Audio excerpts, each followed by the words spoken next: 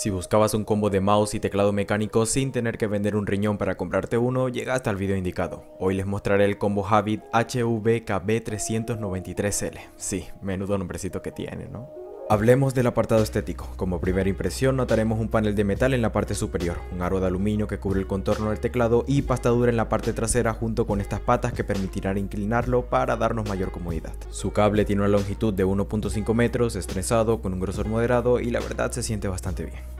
A su vez este combo incluye esta llave, y no, lamento decirte que no sirve para abrir las puertas de su corazón, pero sí para alzar las teclas en caso de que queramos cambiarlas para una futura personalización o para limpiar el teclado de forma sencilla. Usarla es fácil, tan solo debemos tomar la llave, agarrar la tecla y tirar de ella haciendo un poco de presión hacia arriba. En caso de que la pierdas, que es lo más probable, también puedes utilizar tus dedos, los pones en forma de gancho y alzas ejerciendo un poquito de fuerza. Y listo. Para los curiosos que sean más curiosos que Jorge el Curioso, y este Jorge sí que es muy curioso, veremos que al quitar las teclas se hallan switches de tipo Blue, los cuales el fabricante asegura que tienen una vida útil de hasta 50 millones de pulsaciones. Eso quiere decir que si quisiéramos desgastar este amiguito en un año, tendríamos que dar 136.986 pulsaciones a cada tecla por día, así que si no eres un enfermo nerd otaku tryhard pro player master GT, te durará por un largo tiempo. Ahora es momento de usar el poderosísimo metro que compré en todo a 5000 para saber las longitudes de este teclado. Sus medidas son de 43 centímetros de largo por 12 de ancho. Es un teclado 100% ya que cuenta con las teclas alfanuméricas y gracias a ello podemos tener acceso a los números de forma sencilla. Ya que como sabemos los teclados de tipo 60% no tienen este extra, pero su plus radica en que son algo más compactos y livianos aunque esto depende principalmente del tipo de usuario que seas, así que a gustos colores.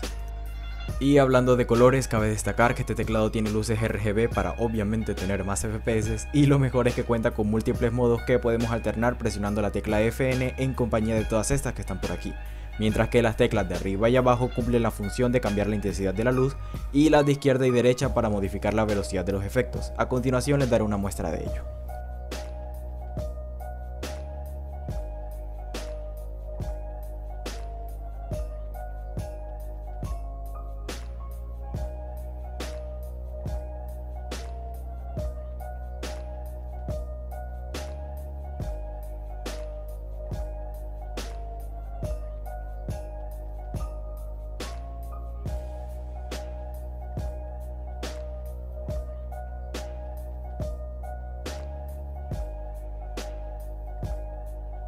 En cuanto al sonido que emiten estos switches al ser presionados, te dan la sensación como si escucharas una máquina de escribir. Para algunos será satisfactorio, para otros no tanto, así que cada quien obtendrá sus propias conclusiones.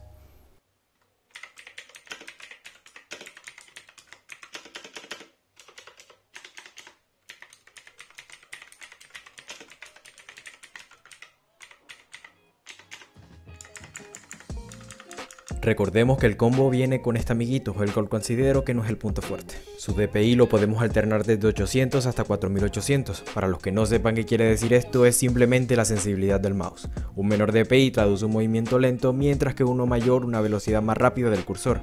Y al igual que el teclado, tiene RGB y distintos efectos en las luces. Su tamaño es perfecto aún para personas que tengan las manos grandes, pero su punto débil considero que está en su peso. A mi parecer está un poco por encima de la media y si quizá eres una persona de manos pequeñas, sí que te puede llegar a cansar luego de unas horas de uso. En cuanto a la arquitectura de este mouse, contamos con 7 botones, clic derecho, clic izquierdo, botón en la rueda del mouse, otro para cambiar el DPI, en la parte lateral izquierda dos que son totalmente configurables. Y por último un botón para cambiar los efectos de las luces.